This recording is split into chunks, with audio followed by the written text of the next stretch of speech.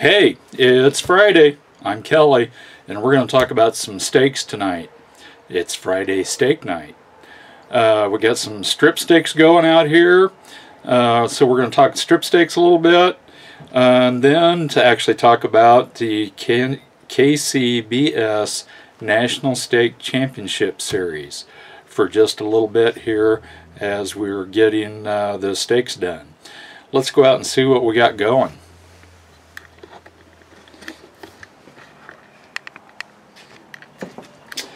Go on out here to the back of the trailer.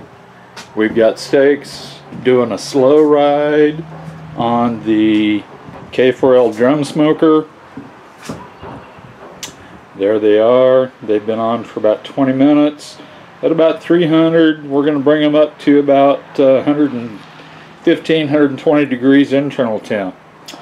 Then we're going to throw them in the rocket hot 500 degree cast iron skillet and give them a fast ride until about uh, 130 ish uh, 130 135 and then we're going to let them rest and come all the way up and then all the way back down again until they, they're starting to cool back down uh, so we can start slicing on them we'll see you in a little bit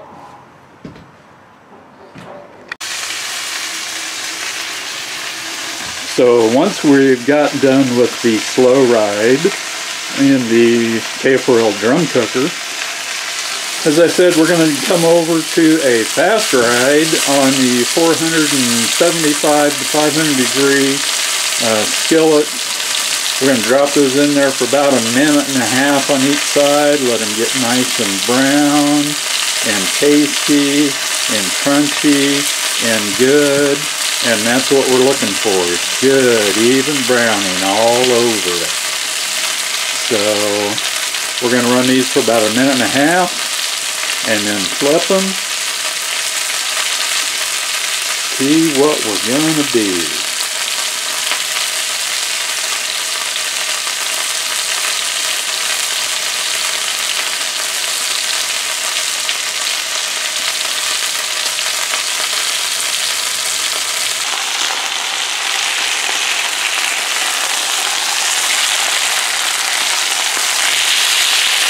There we go with some nice and brown and tasty, that good caramelization on there.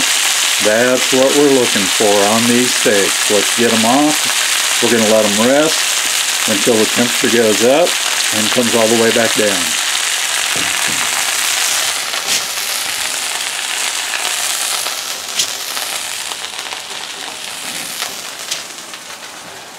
There we go. Hmm. So here we have my version of a KCBS National Championship Steak Series steak turn-in box. This is what one might look like. This is kind of what I had envisioned. Uh, but really, that's what I really like about the KCBS National Steak Championship Series is it's the control of what you do is now back to the cooks.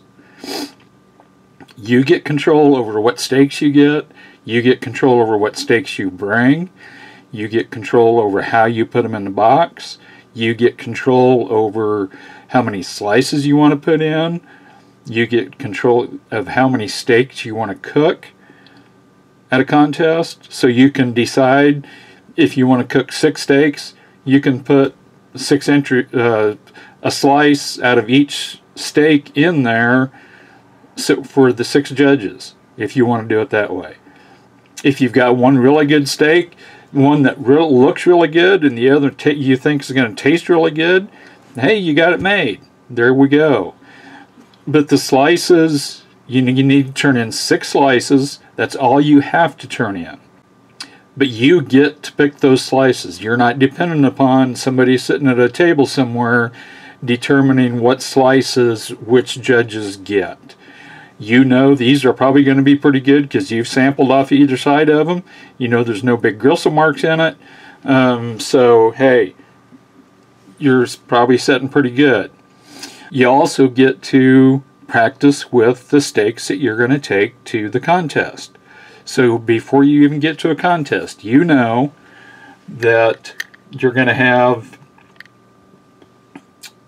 you know how long your uh, steak cook time is going to be. You know when you need to start, you know when you need to start so you get done at the right time.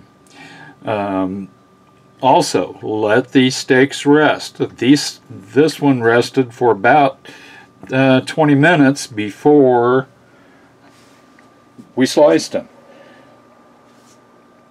Because they're go we get to slice them, we don't necessarily want them going in good and hot before um, as trying to slice them and then put them in the box hot, you're going to lose all your juice and all your flavor out of them. So anyway, that's kind of my thing on the KCBS National Steak Championship Series.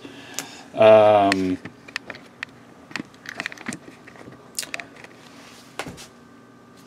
there you go.